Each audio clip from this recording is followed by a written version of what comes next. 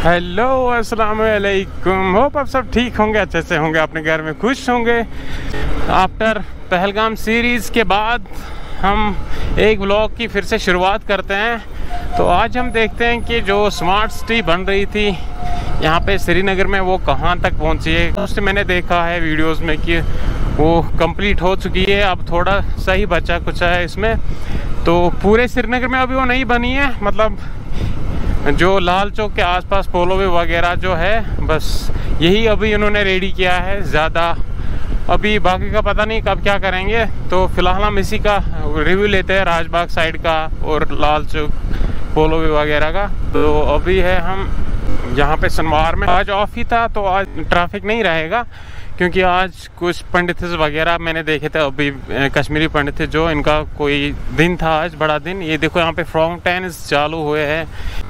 तो ये है यहाँ पे अभी टीआरसी तो सामने एलईडी लगाया है बड़ा सा यहाँ पे, इस चौक के पास।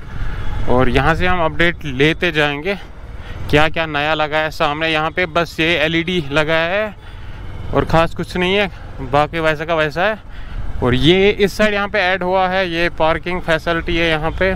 फुटपाथ बड़ा बनाया है रोड पूरा मैगडमाइज्ड है, लेकिन बम्प्स इसमें बहुत है। इससे पहले भी मैंने इस पर राइड की है। और उस साइड भी फुटपाथ है, इस साइड भी फुटपाथ है। बहुत बड़े फुटपाथ बनाए हैं प्यारे फुटपाथ बनाए। हैं यहाँ पे पैसेंजर वेटिंग शेड बनाया है। ये पार्किंग के लिए बीच बीच में और रखा है उन्होंने। ये अगर किसी को यहाँ पे रुकना होगा, लेकिन ये पेड पार्किंग है। ये रहा पोलोवे मार्केट जो ये रोड है, इसको भी बढ़िया बनाया है मैगडामाइज करके। और ये देखो, अंदर से पोलो व्यू का कुछ ऐसा व्यू है। इसमें टाइल वाइल लगाया और वैसे के वैसे तो बाद में मैं वहाँ से आके आपको दिखाऊँगा अंदर का नज़ारा इसका। फ़िलहाल हम आगे चलते हैं और और ये सब आपको पता ही होगा, यहाँ पे मॉल है अभी टाइम हो गया है सवा पाँच।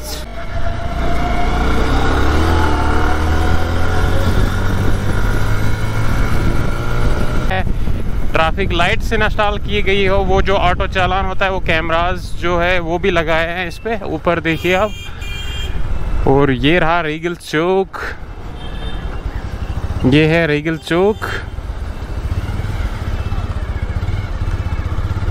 लेफ़्ट साइड में आप देख सकते हो प्रताप पार्क।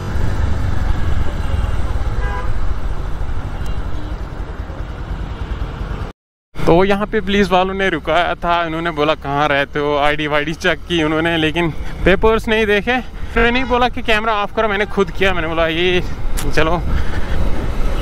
तो अभी हम पहुँचे लाल चौक के नज़दीक। ये है अभी हमें रोड। तो ये देखो ज़्यादा कुछ इसमें नहीं किया, बस टाइल शाइल लगा। बीच में भी कुछ ग्रीनरी टाइप ऐड किए। और ये देखो, ये है हमारा लाल चौक, हमारी जान और हमारी शान। ये देखें भाई, चेक करें।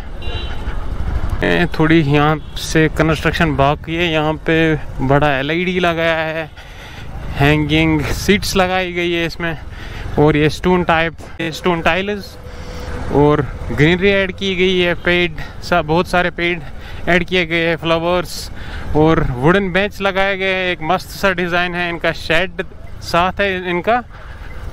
चलो चलो भाई। वो घंटा घर को फिर से मॉडिफाई किया गया है एक न्यू लुक इसको दिया गया है जो कि सीधे लंदन लगता है अब। ओ, ये देखो बहुत ही प्यारा। जो रोड का जो डिज़ाइन है वो भी अच्छा बनाया है। और वहाँ से भी टाइल है फाउंटेन इसमें ऐड किए गए और बीच में और सामने अमरा कदल इसमें कलर किया है और ज़्यादा कुछ बाकी वैसा का वैसा है। और ये रहा गनी चौक आ गया ये जो एरिया है, ये वैसा का वैसा ही है। ये रहा जहांगीर चौक। पहले से इसको थोड़ा अच्छा किया था, जब इसको बनाया गया था।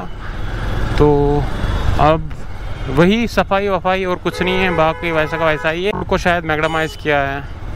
और एक और चीज़ यहाँ से इसको बंद किया गया है, आगे से कट मारना पड़ता है इसके लिए। ये देखो, ये सही है ग्रीनरी ऐड करो, ये सही है भाई। हम तो नेचर लवर से भाई।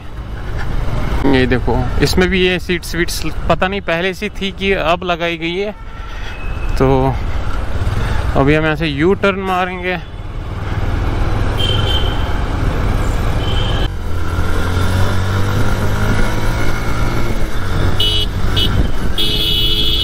फिर से जहांगीर चौक व्यू चेक करें।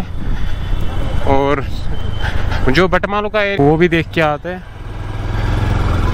ये भी वैसे का वैसा है इसमें ज़्यादा खास कुछ ऐड नहीं किया है बस वहाँ पे वो गोल चक्कर बनाया है और रोड को थोड़ा वाइड किया है।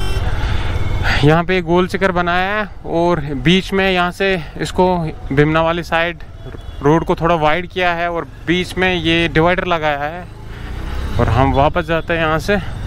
फिर से लाल चौक के पास मैं आपको मिलता हूँ।